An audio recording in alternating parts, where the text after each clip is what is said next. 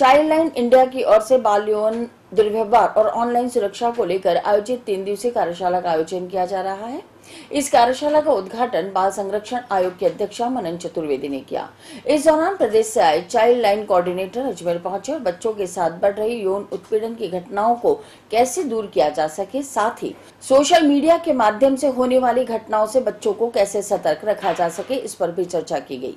बाल संरक्षक आयोग के अध्यक्ष मनन चतुर्वेदी ने कहा कि चाइल्ड लाइन बेहतर काम कर रही है, लेकिन पुलिस प्रशासन द्वारा सहयोग में कमी के चलते यह काम उच्च गति से नहीं हो पा रहा, जिस गति से होना चाहिए।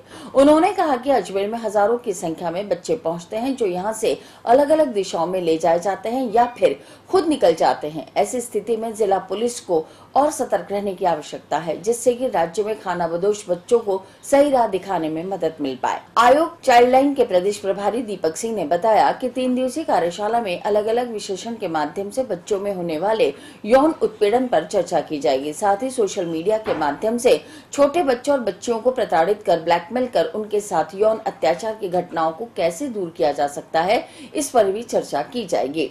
इस कार्यशाला में प्रदेश भर से चाइल्ड लाइन कोऑर्डिनेटर पहुँचे हैं, जो यहाँ से जानकारी लेकर अपने अपने जिलों में कार्य करेंगे। मेन टूल रूट टूल तो चाइल्ड लाइन है जो सब बच्चों के पास है।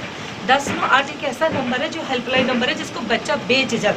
दस नौ आठ टाबरा और ठाठ हम स्कूलों में कंपलसरी कर रहे हैं, हम थानों में कंपलसरी कर रहे हैं। चाइल्ड वेलफेयर ऑफिसर्स के होने के बाद भी हम हर जगह इस नंबर को परिलक्षित भी करें दीवारों पर तो इट इज़ वेरी इंपॉर्टेंट और ये जो आज की कार्यशाला है डेफिनेटली चाइल्ड लाइन वही चला रहा है जो कहीं ना कहीं सेंसिटाइज है और कहीं ना कहीं संवेदनशील है। तो इसका रिज़ल्ट बहुत अच्छा आएगा। ज़रूरत है इस कार्यशाला में जो सीखा जा रहा है, जो समझा जा रहा है, उसको वो प्रैक्टिकल ग्राउंड पर बाहर जाकर अप्लाई कर सके और दिल से काम कर।